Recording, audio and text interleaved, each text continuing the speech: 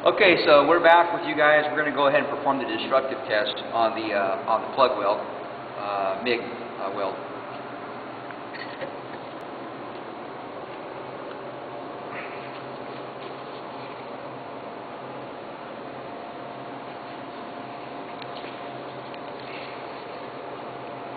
And we'll give you guys a better view from this side. We'll go ahead and keep twisting from the opposite side.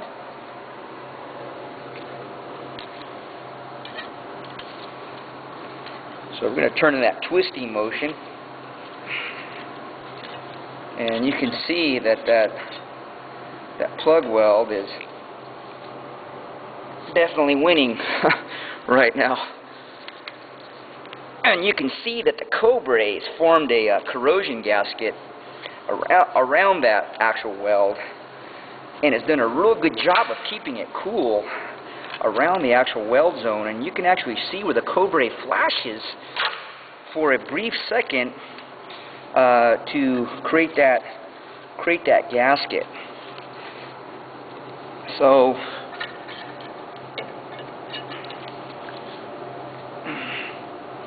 I'm going to relocate this sample so we can get a better bite on it to finally get it to uh, destruct for that for that twist test there. And again, the twist test isn't very realistic.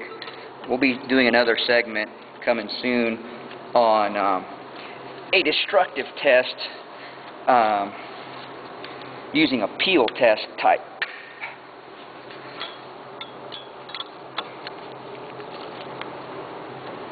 You can see we're ripping the metal away.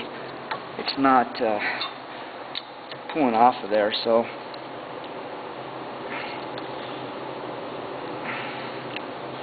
get that to break is going to be almost virtually impossible, but we're performing that twist test that is called out by one of the car manufacturers in their book, which is really a little dated.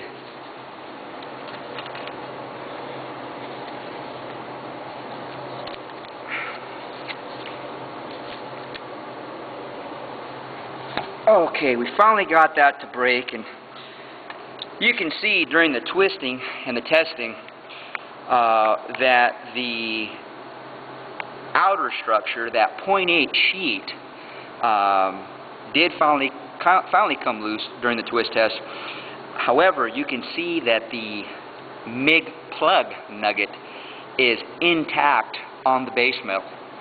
Really good fusion, really good penetration, uh, very, very, very nice uh, uh, fusion around the plug the Cobre performed just, I mean, incredibly well. You can see where it flashed and actually shrinks right back down into, into the nugget as it did with the squeeze type resistance test and uh, creates a really good corrosion protection gasket, creates a very, very highly conductive uh, uh, electricity uh, path for the welding to take place and keeps that weld super cool during the actual uh, weld, uh, welding time.